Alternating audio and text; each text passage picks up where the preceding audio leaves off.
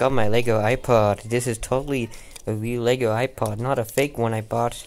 I, a a bootleg one. Totally not. Totally. No.